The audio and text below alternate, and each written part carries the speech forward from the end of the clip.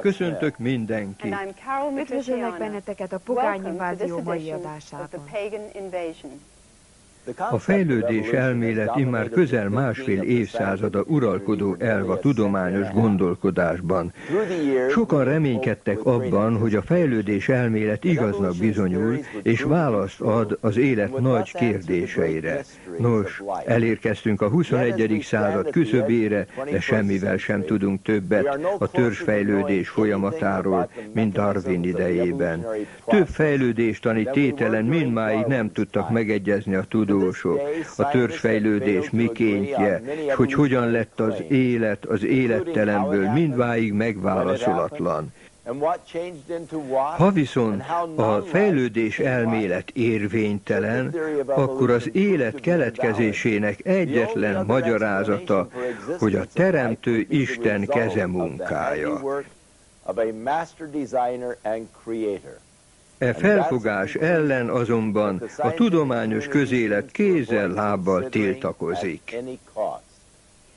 A legtöbb ember abban a hitben él, hogy a fejlődés elmélet Charles Darwin agyszüleménye, és hogy tudományosan elfogadott tény. De ez nem így van. Már a régi görögöknél és indiaiaknál, de sok más ókori és újabbkori közösségben is hittek valamiféle evolúcióban. Darwin ezt népszerűsítette.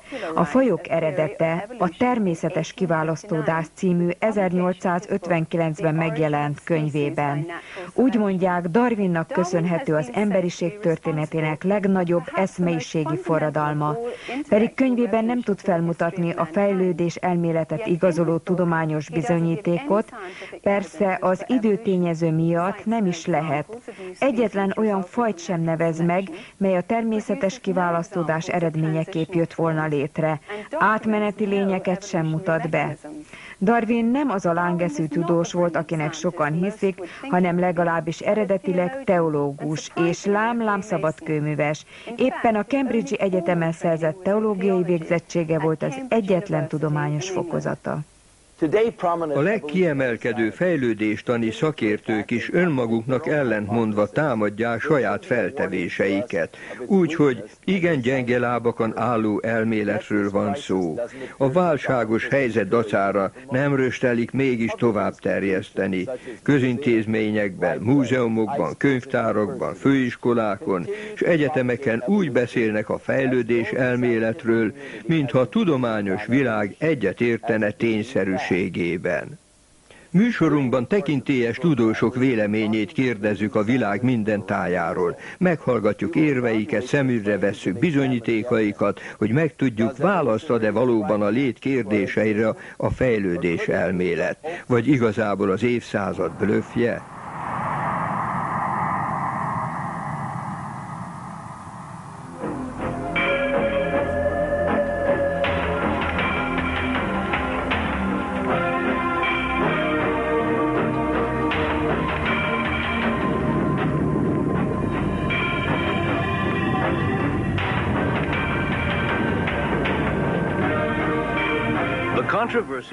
Évezredek óta izgatja az embert a kérdés, hogyan kezdődött az élet.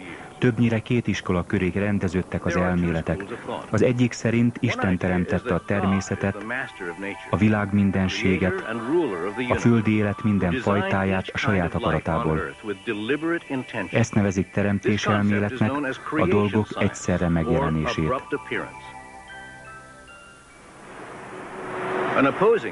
A másik, a mai társadalomban és tudományban uralkodó nézet, a fejlődés elmélet szerint az élettelemből véletlenszerűen lett az élet, mely az idők folyamán szépen fejlődésnek indult. Egysejtőekből egyre bonyolultabb többsejtű lények lettek, majd legvégül kialakult az ember. A fejlődés elmélet társadalmunkban mindenütt jelen van, Világszerte nagy tekintélyű múzeumok állítják ki a fejlődéstant igazoló kincseiket. Nemzeti parkok és történelmi helyek egymással vetélkednek a fejlődés elmélet minél hívebb bemutatásában. A tudományos sajtó, természetbúvárok folyóiratai, de a gyermekkönyvek és a tévé is tényként hozza a fejlődés elméletet. Nem csak a mai népszerű filmekben, de még a Vidám Parkban és a műzli dobozon is fejlődés elméletet kap a mindenevővevő. A főiskolai és egyetemi hallgatók kötelező olvasmányai között ott vannak a fejlődés elméleten alapuló tankönyvek. Ez az alapja a legtöbb tudományágnak, például az őslénytannak, geológiának, biológiának és a csillagászatnak. Sok tudós eleve kizárja a természet feletti magyarázatokat, és anyagelméleten nyugvó válaszokat keres. Ők tehát nem ismerik el, hogy Isten természet feletti beavatkozásának eredménye a csodálatos teremtés. A lélekvándorlás és a fejlődés párhuzamos eszméje persze mindig is szorosan összekapcsolódott a világ sok pogányvallásában. A baja az, hogy ezt az eszmét a 19. század közepén világszerte elismert tudományos alapokra helyezte az angol Charles Darwin, a fejlődés elmélet atya. Abban az időben pedig még a többség a Szentírás tanítását, tehát a teremtés elméletet vallotta. A keresztény neveltetésű Darwin tehát ez ellen az eszme ellen lázadt, és megteremtette Isten nélküli saját elméletét. Itt élt Charles Darwin 1842-től 1882-ig. Ez a dolgozó szobája.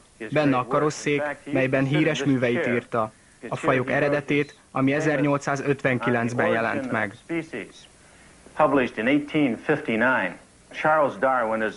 Charles Darwin az újkor kiemelkedő egyénisége volt, aki a fejlődés elmélettel új alapokra helyezte a tudományos gondolkodást.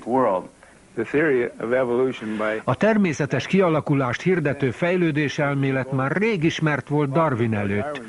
Ő csupán értelmesen meg tudta magyarázni, hogyan működött a dolog. Olyan értelmesen, hogy mindenki arra gondolt, hogy ez nekem nem jutott eszembe. Ami Darwint illeti, vele az emberek nagyon meg voltak elégedve. Ő volt a hős, aki megtalálta azt, amit kerestek. Az újkori tudományt 1620-tól számíthatjuk, amikor Lord Bacon megírta a Nova Morganát. Ekkor még egészen 1860-ig a teremtésben hit a legtöbb tudós. Ma alig van tudós, aki a teremtőben, az ember teremtésében hinne. Minek, kinek köszönhető ez? Lássuk, kik végezték ezt az agymosást. Először is Thomas Huxley a Természettudományi Múzeumban, akit csak Darwin buldogjaként emlegettek, mert Darwin tanainak lelkes és nagy hatású terjesztője volt. Huxley úgy gondolta, a természetben mindent meg lehet magyarázni, tisztán természeti törvények törvényekkel, a teremtőt kivéve.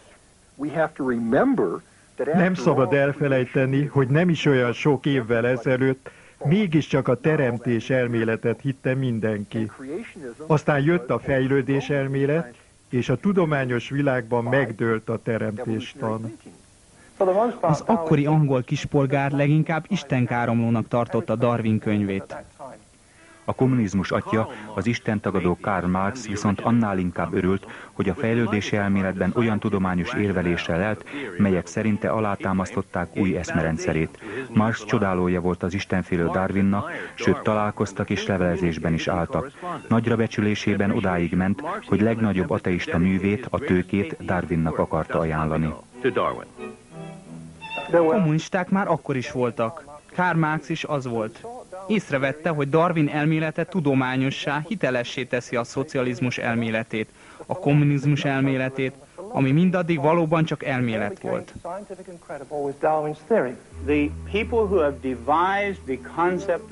Akik a fejlődés elméletet kidolgozták, kezdve Darwinnal, sőt még előtte is, úgy képzelik el, hogy legelőször volt valamilyen űr, amiben lett egy hatalmas robbanás, amit ősrobbanásnak hívnak. És így keletkezett a tejútrendszer mind a 200 milliárd tökéletes pontossággal járó csillaga, aztán valahol az élet, melynek tetején ott az ember, és mindenhez nem kellett az Isten. Így tanítják ezt már az általános iskolákban.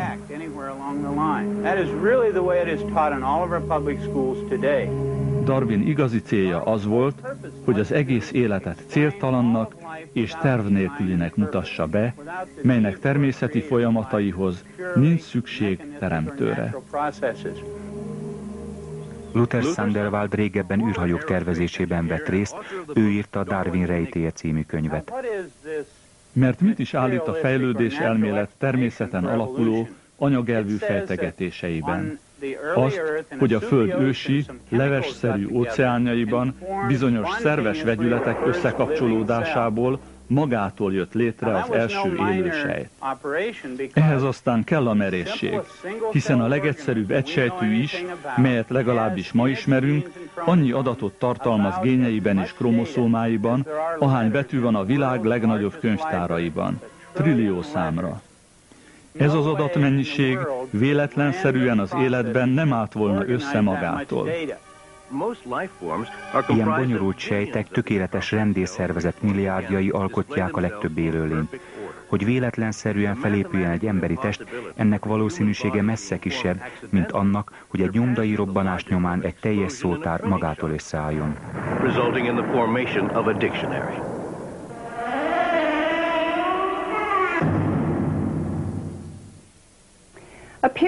A Fejlődéstani Összeesküvés című filmben szerepel dr. John Morris, a kaliforniai San Diego-ban székelő Teremtéskutató Intézet földrajzi osztályának vezetője.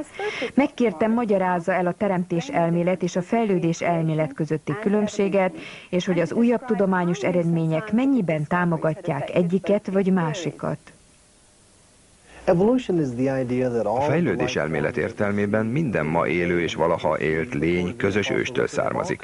Vagyis úgy 4 milliárd évvel ezelőtt az élettelen, de szerves vegyületekből magától kialakult egyetlen egy sejt, élő sejt, mely aztán a mutáció, természetes kiválasztódás, genetikai változások, meg a többi hatása közepette fejlődésnek indult, és a malátott szervezetek kialakulásáig meg sem állt. Így a fejlődés elmélet, mely szerint közös őstől lett minden és minden mindenki. Ezzel ellentéteset állít a teremtés elmélet, mely szerint a növények és állatok minden fajtája megteremtetett. Még az egymásra hasonlatosaknak sem volt közös ősük. A kutya mindig is kutya volt. Igen, éppen a kutya. Az ember pedig ember, nem valamiféle majomőstől származik. A teremtés elmélet elfogadja, hogy az élőlények egyes fajai teremtésükkor genetikai állományt is kaptak, a DNS kódokat, aminek az a rendeltetése, hogy a leszármazottak is ugyanahoz a fajhoz tartozzanak. Itt az élőlények nem fejlődnek akármi más fajtává. A teremtés elméletet sokan az egyszerre megjelenés modelljének is nevezik. Tehát, hogy a különböző fajú élőlények egyszerre jelentek meg a Földön, és nem valami más fajtából lettek. A stázis fogalma pedig annyit jelent, hogy mióta megjelentek, nem is változnak mássá, állandók, statikusak. Hogyan lehet, hogy a tudósok két ennyire ellentétes elméletet vallanak az élet eredetéről? Hát igen, jó kérdés, sőt, alapvető kérdés, hiszen mindkét tábor ugyanabból az anyagból, ugyanazokból a leletekből dolgozik. Élő és élettelen természetből vezetik le oly eltérő állításaikat. Sokszor kérdezik, akik nem szakértők, ha a tudósok nyitottak, nincsenek előítéleteik, hogyan tudják ennyire másképpen értelmezni a tényeket?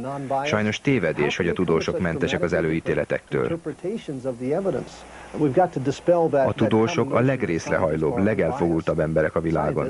Ez még nem is lenne baj, csak az a kérdés, melyik irányban elfogultak.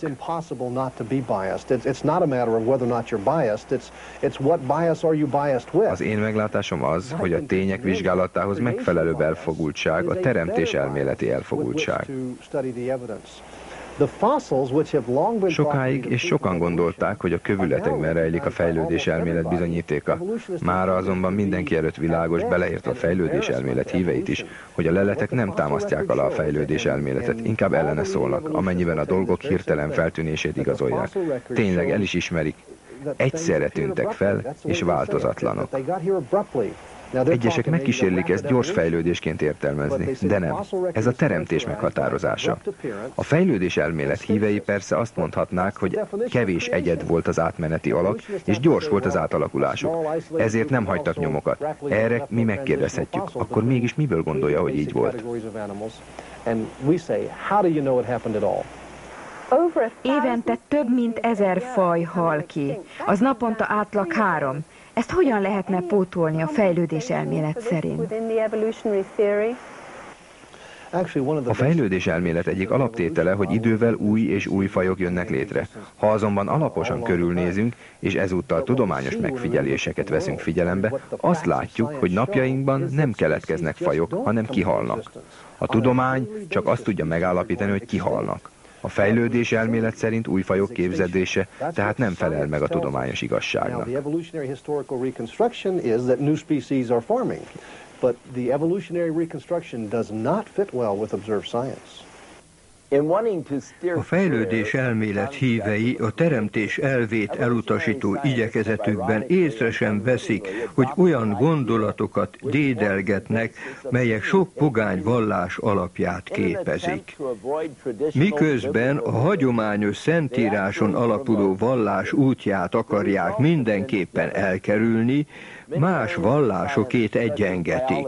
Az eredmény kiábrándító, ahogy számos tudományág, például a biológia és a geológia behodolása is mutatja. A fejlődés elmélet bizonyítékát kutató tudósok nem tudnak semmit felmutatni.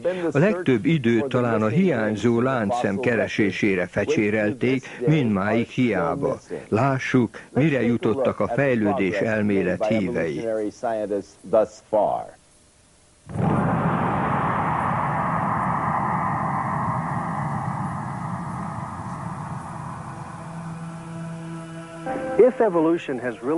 Ha lett volna fejlődés, annak nyomát kellene látnunk a leletekben, hiszen ezek őrzik a múltat. A kövületekben, leletekben azonban semmi nyoma olyasminek, hogy valamely élő lény valaha is egy másikká alakult volna. Azaz nincsenek átmeneti alakok. Egy ismerősön foglalkozik őslénytannal. Egy időben ő rendszerezte a leleteket, és ezek között nem voltak átmeneti alakok. Ezt persze a Szentírás már rég megmondta, jóval e kutatások előtt.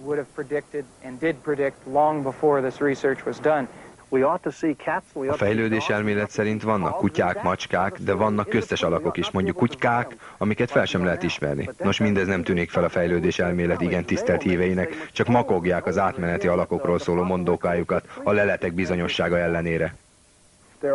Ó, igazán nem gond átmeneti alakot találni, hiszen minden élőlény az. Tévedés, hogy hiányoznának az átmeneti alakok. Több is van, mint amennyit tanulmányozni tudnánk. Igazából olyan sok az egyes fajok közötti átmeneti alak, hogy sokszor csak statisztikai módszerekkel lehet megkülönböztetni őket. Tehát az, hogy nincsenek átmeneti alakok, egyszerűen nem igaz. Az imént megszólalt élenjáró tudósok, amikor belátták, hogy önmaguknak mondtak ellent, mert nem tudtak megnevezni átmeneti alakokat, mindenféle magyarázattal álltak elő. Minden magamfajta őslénytudós számol azzal, hogy a kövületekben nem igen talál átmeneti alakokat. Hiányos a leletsor, és ennek földrajzi oka van. A szél és víz elhordja a legtöbb maradványt. A kövületek között átmeneti alakot találni már csak azért sem könnyű, mert a fejlődés viszonylag gyorsan megy végbe. Az átmeneti alakok rövid ideig vannak jelen a Földön, így a ma néhány ritka lelettől eltekintve kevés nyomot találunk. Egyszer levelet írtam dr. Colin Petersonnek, egy fejlődéstani könyv szerzőjének, aki a Brit Természettudományi Múzeumban dolgozik, és megkérdeztem tőle, mégis miért nem szerepel könyvében egyetlen átmeneti alak képesen. Dr. Peterson, akinek múzeumában 7 millió lelet van, így írt vissza. said the following when he answered my letter, quote, Teljesen egyetértek önnel abban, hogy könyvem nélkülözi a fejlődéstani átmenetek fényképeit. Minden bizonyal beletettem volna, ha lenne. Később szóban ezt mondta. Hogy őszinte legyek, nincs olyan maradvány vagy élő egyed, melyről ne oszlanának meg a vélemények. Mivel nem létezik olyan maradvány, mely a fejlődési elméletet igazolná, kétes eredetű műalkotások képezik a bizonyítékot, és kerülnek a nyilvánosság elé. Ízetlen animációkban tárják a szemünk elé, ahogy a halnak lába nő, és kétéltű lesz belőle, vagy ahogy rég kihalt szarvasszerű lényből sejtelmesen előbb ló, majom, majd ember válik ahol sosem létezett lényt kell bemutatni, agyafúrt építészek keze alatt születik meg csontváza műanyagból és fából. Döbbenetes számomra, hogy a múzeumok úgy mutatják be a fejlődéstant, mintha bizonyított tény lenne. Egyszerűen hamis igazságot közölnek. Légvárat építenek és mutatnak be, nincs bizonyítékuk. A Science Digest 1980-as kiadásában van egy rajz egy bálnáról, melynek lábai vannak, és a bálna és a szarvasmara közti kapocs lenne. Csak hogy a mesebelélénynek csupán koponyája maradt meg, és néhány foga. Lábcsontjai nem. Az Amerika Múzeumban dolgozó Miles Eldridge mondta egyszer, e történetek mesélésének, hogy mi alakult át mivé, meg az átmeneti alakok kérdésében egyedül a hallgatóság hiszékenysége és a képzelőerő szabhatár. Aki a törzsfejlődést szeretné látni, hogyan alakul át egyik faj egy másikba, nos ezt a folyamatot rendkívül lassú volt, amiatt nem élhetjük át. A fejlődés elmélet szerint rengeteg átmeneti alak létezhet, ezeknek azonosítására azonban igen kicsi az esély. Minél több lelet kerül elő, és minél többet tudunk az őslénytanról, annál világosabb, hogy a fejlődés elmélet hitkérdése. Az Amerikai Nemzeti Tudományos Akadémia tudományos ügyekben az Egyesült Államok kormányának hivatalos tanácsadója. Közleményeiben hamisan azt állítja, hogy a Darwin korában még hiányolt láncszemeket már nem tekintik hiányzó láncszemeknek. Milliókat téveszt meg ez az állítás, mert 120 év hiába való kutatás után még mindig nincsenek meg a hiányzó láncszemek. Ennek ellenére az akadémia továbbra is azt a mesét terjeszti, hogy az ember őse egy majomszerű teremtmény volt. Az egyik legismertebb antropológus, Richard Lee kimondta egyszer, hogyha az ember családfáját le kellene rajzolnia, ő bizony csak egy nagy kérdőjelet tudna rajzolni, mert túl kevés a bizonyíték, és nem is tudja, hogy lesz-e valaha elég ahhoz, hogy az ember eredetéről képet alkothassunk. A fejlődés elméletet igazoló műalkotások kiagyalóinak nincsenek elkölcsi korlátaik. Jól lehet, nincs alapja a majomból emberré válás elméletének, a tudósok és művészek nem általják életű, ám kitalált előemberekkel bolondítani a közönséget. Ostoba lelkesedéssel olyannyira magukévá teszik az emberré válás történetét, hogy egy-egy fog, csontorab alapján, vagy egyszerűen bármi kiindulópont nélkül, még bőr és hajszínükre, sőt arckifejezésükre is következtetnek. Érthetetlen, hogy míg a National Geographic magazin is, mely soha nem titkolta fejlődéstani elkötelezettségét, elismeri, hogy a megkövesedett lábnyomok emberi lábra emlékeztetnek, a művész mégis veszi a bátorságot, és a fejlődéstamban tanultaknak megfelelően majomalkatot kölcsönöz lényeknek, és mindez csak azért, mert igencsak vitatható kor meghatározó módszereikkel ember előtti kor rétegében találták a lábnyomokat. A fejlődés elmélet mai hívei mindenáron el akarják velünk hitetni, hogy megdönthetetlen bizonyítékok támasztják alá az evolúciót. Nyilvánosság előtt legalábbis azt a benyomást keltik, hogy teljesen biztosak benne, hogy az ember őse egy majomszerű lény volt. Dr. Donald Johansson, az Ember Származását Kutató Intézet igazgatója mondhatja magáénak a Lucynek nevezett lelet felfedezését. A közös őstől vagy ősöktől kétfelé ágazott a fejlődés, az ember és a majom családja felé, melyeken belül aztán újabb elágazások jöttek létre. Fejlődött mindeket a maga útján. Hogy a közös ős milyen volt, nem tudni, de talán ilyen lehetett, mint ez a Ramapithecusnak nevezett lény. A jó öreg Ramapithecus nem más, mint egy álkapos töredéke néhány foggal, így aztán évekig ment a vita, hogy előembernek tekinthető-e. Dr. Pilbeam, a Yale Harvard Peabody Múzeumának szakértője, először maga is azon a nézeten volt, hogy a Ramapithecus előember, az emberi nem őse. Mostanában már más véleményen van, mint sok evolucionista, és mikor megkérdeztem, azt is elmondta, hogy vagy 40 ilyen maradványt találtunk már. Az időben közelesők egész jól megmaradtak, de ezek nem abból a korból való, így inkább orángutánra emlékeztetnek. Another so-called missing link Hírhetté vált még a jávai ember, melyet Eugene Duba kiáltott ki hiányzó láncszemnek. Valójában pedig egy majomszerű koponyából, mint később kiderült, gibbonéból és egy 20 méterrel arrébb talált emberi lábcsontból szerkesztett össze. Halála előtt Duba azt is bevallotta, hogy emberi koponyákat is talált ugyanazon a helyen. A jávai ember Homo erectus néven vált ismerté, aki már kőbaltát készített és használt is. Agya az évszázezredek során elég tekintélyes méretet ért el. Testarányaiban már hozzánk hasonló, és egyértelműen az az előember volt, akiből később a mai ember lett. A fejlődés elmélet hívei még mindig bedőlnek ennek a blöffnek, és hiányzó láncemként mutogatják. És ha a jávai ember esete hihetetlenül hangzik, csak várjunk, még kiderül az igazság Johann Lucie körül. Ez ugye egy felnőttként alig 120 centis csontváz, olyan, mint egy csimpánz. Lucy-t 1974-ben találtam, és úgy szoktam mondani, ő az az asszony, aki felrajzolta az ember családfáját, mivel az övé az antropológusok által ismert legteljesebb és legrégebbi csontváz.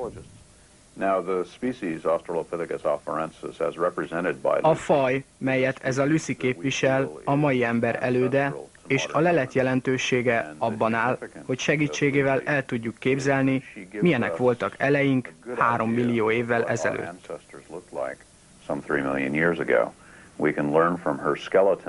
A csontvázból kiderül például, hogy két lábon közlekedett, mert a térd és a csípőizület arra utal, hogy emberszerűen és nem majomszerűen járt.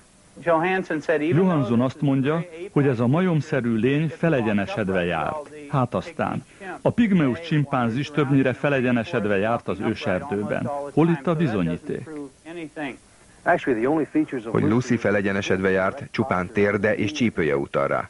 Dr. Charles Oxnard aprólékos számítógépes elemzése arra a következtetésre jutott, hogy Johansson kijelentései megalapozatlanok a csípőt illetően, és szerinte a térd nem Lucyé, hanem másfél kilométerrel arrébb és 70 méterrel mélyebb rétegben találták.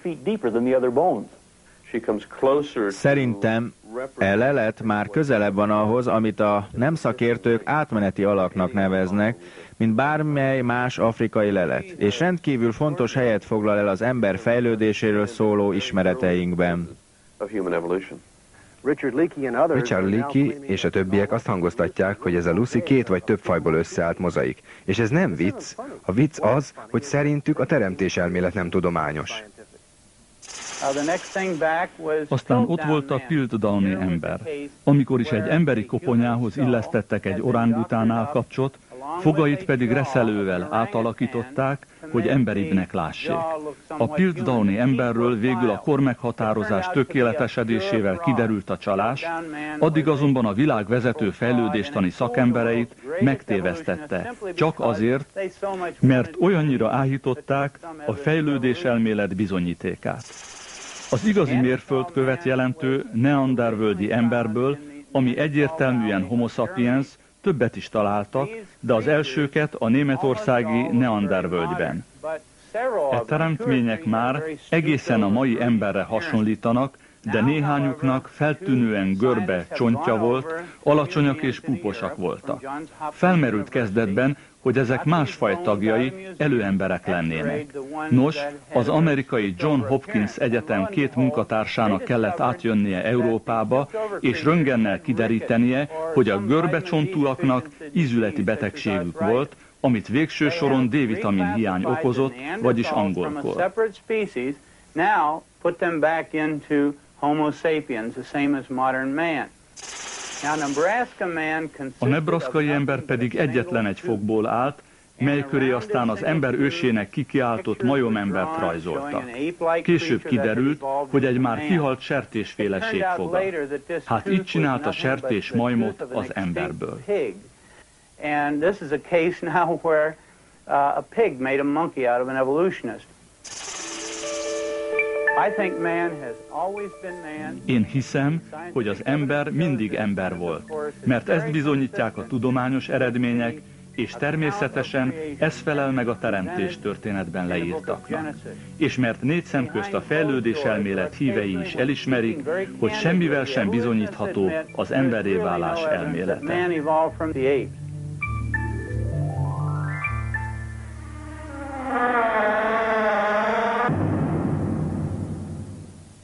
Mennyi az igazságtartalma a múzeumokban és tankönyvekben a természet általános fejlődését bemutató művészeti ábrázolásoknak? Tudja, úgy egy éve beszélgettem egy ilyen rajzolóval, akinek azt a feladatot adták, hogy egy fejlődéstani tankönyvhöz készítse el a majomemberből emberré válást ábrázoló képeket. Kapott hozzá egy koponyát is, amit ő majomszerűnek látott, és ekképpen rajzolt is le. A megrendelő azonban nem fogadta el, mondván rajzolja emberszerűbbre. Így is tett, majd újra megmutatta a megrendelőnek, aki még mindig nem volt elégedett. Egészen emberszerűre akarta. Megint alakított rajta, és ez így ment, amíg meg nem mondta. Végül kifakadt. Nem fogok hazudni a munkámban. Szerintem ez majom, nem az ember és majom között hiányzó láncszem. It's not a human ape missing link. Many times I think Szerintem sokszor a művészi szabadság és a képzelet dolgozik a tudomány helyett, a fejlődés elméletben. Hogyan volt képes a fejlődés elmélet mégis ennyire eluralkodni a társadalomban? Meggyőződésem, hogy a legtöbb ember azért hisz a fejlődés elméletben, mert a többiek is. A tudományos tények sohasem utaltak egyértelműen a fejlődés elmélet igaz voltára, a csontmaradványok különösen nem. És ha az emberi válásban hiányoznak a bizonyítékok, következésképpen más állatfajok közötti átalakulásnak leletei sem léteznek. Mégis ezt tanítják az iskolában már az első naptól. Hogyha nem hiszel a fejlődés elméletben, akkor buta vagy, fiam. Közellenség, maradi, meg hasonló. Pedig már a fejlődéstan hívei közül is sokan elfordulnak a fejlődés elmélettől, mert látják, hogy a bizonyítékok alapján a dolgok eredetéül más magyarázatot kell keresni. Az iskolában azt tanítják, hogy a fejlődés elmélet tény. Mondhat-e ilyet egy tudós? Az 1925-ös Scopes Trial-ra, amit leginkább emberkutatásként fordíthatnánk, már senki nem emlékszik. De én igen. Az akkoriban a fejlődéstant igazolni hivatott érveket ma már nem fogadják el. A nebraszkai ember, ami valójában egyetlen egy fog volt, és ebből alkottat képet nem csak a vér tulajdonosáról, de egész családjáról, feleségével és gyerekeivel együtt, az ősközösségről, és csak később derült ki, hogy nem is emberé, hanem sertésé volt a fog. A Pildowni ember ugyancsak csalás volt. Ezeket ma már persze nem tanítják, de akkor kezdtek hinni a fejlődés elméletben az emberek, amikor ezeket a hamis bizonyítékokat mutogatták nekik, és azóta is hisznek. But now we know that those proofs were in fact wrong Meggyőződésem, hogy a fejlődés elmélet rendkívül rossz hatással van a diákokra, akiket eleve nem tanítanak meg gondolkodni, a tényeket értékelni. Csak amit bemagoltatnak velük, arra kell emlékezniük, vagy annak éppen időszerű változatára. Ez itt a veszélyes.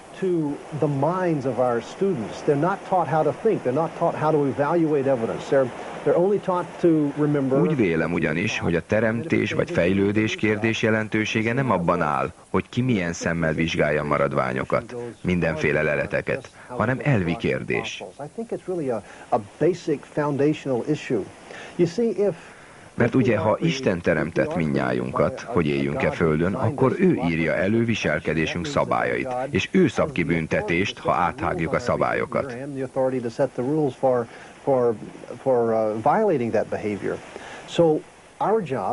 Tehát engedelmeskednünk kell a szabályoknak. Ha viszont állatból lettünk emberré, akkor nem tartozunk senkihez és senkinek. Mi írjuk elő a szabályokat, és azt csinálunk, amit akarunk. Csak figyeljük meg a ma emberét. Mindenki azt tesz, amit akar. A társadalom ítéletet mond maga felett. Az egész hiányzó láncemkeresés onnan ered, hogy Charles Darwin maga figyelmeztetett, ha nem sikerül átmeneti alakot találni, az egész fejlődés elmélet alaptalan okoskodás. A mai fejlődéstani gondolkodásmód, mintha más irányt vett volna, nem vesz tudomást e fontos figyelmeztetésről.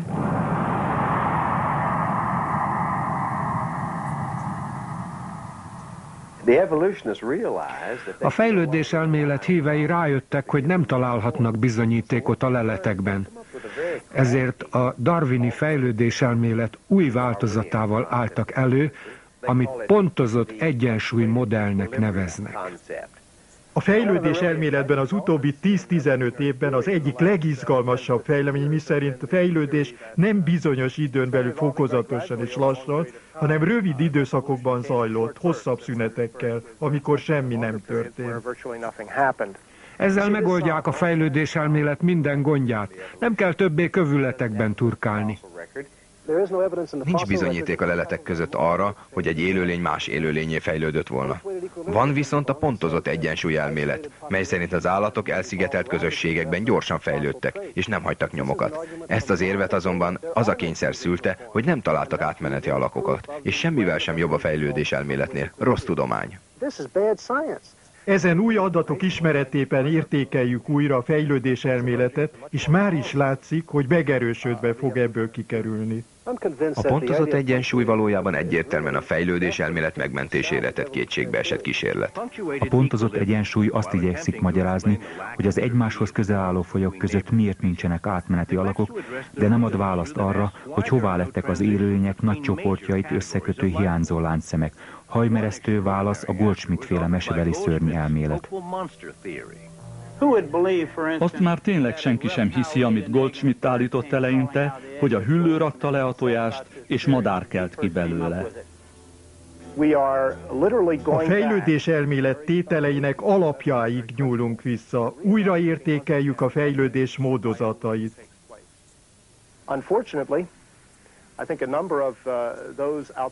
Sajnos valószínű, hogy akik kívülről tekintik-e folyamatot, azt hiszik majd, hogy a fejlődés tényét vonjuk kétségbe.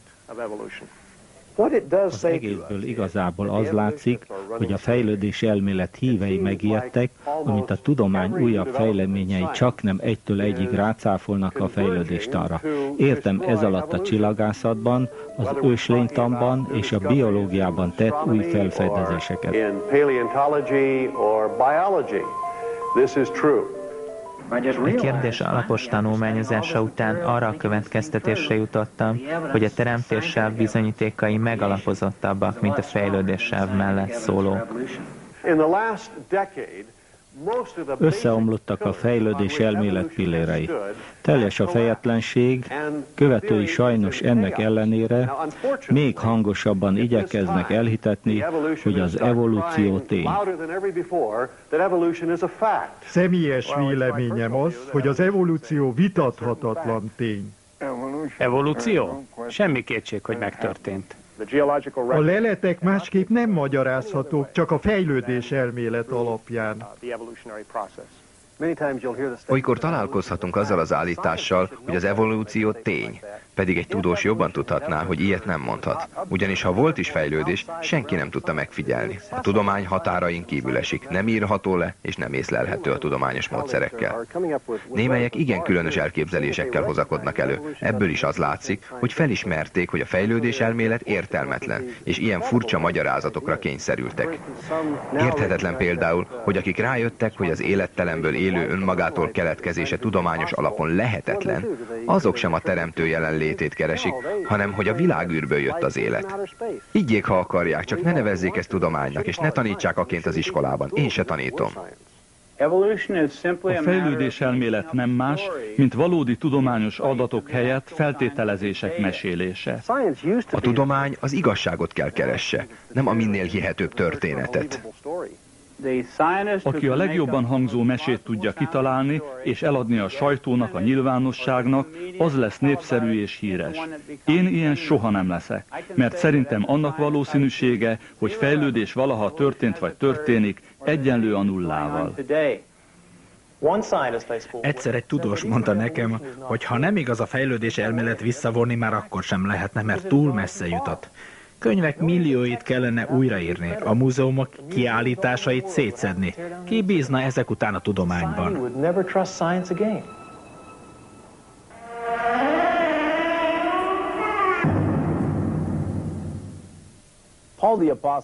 Pálapostól beszél olyan emberekről, akik nem akarják elfogadni Istent. Azért ragaszkodnak tehát az emberek a fejlődés tanhoz, mert Isten nélküli magyarázattal szolgál. Pálapostól azt is mondja, hogy miközben arra törekedtek, hogy bölcsebbé váljanak, bolondá lettek, mert a halhatatlan Isten dicsőségét felcserélték, és készek voltak a teremtmény szolgálni és imádni, semmint a mindörökké áldott teremtőt. Annak vagyunk tanúi, hogy a teremtő helyett a teremtményt imádják. Hát nem érthetetlen, hogy a teremtés csodálatos szépségét látva valaki azt imádja, nem alkotóját. Lát egy gyönyörű rózsát, megérzi illatát, és azt mondja, igen, ez az én Istenem. Pedig az csak teremtménye Istennek, Isten tervének kivitelezése. A bölcsember nem rövidlátó, túltekint a teremtményen, és az alkotót imádja. Isten mindannyiunkban megteremtette azt a különös vágyat, melyet az ember világi dolgokkal próbált meg kielégíteni pedig a megoldás csak a teremtővel való bensőséges viszony. A Szentírás kijelöli az utat, hogyan juthatunk el Istenhez, aki elküldte hozzánk fiát, Jézus Krisztust. And that is through the provisions of his son, Jesus Christ. I'm Chuck Smith. Kérem, tartsanak velünk a pogány invázió következő műsorában is.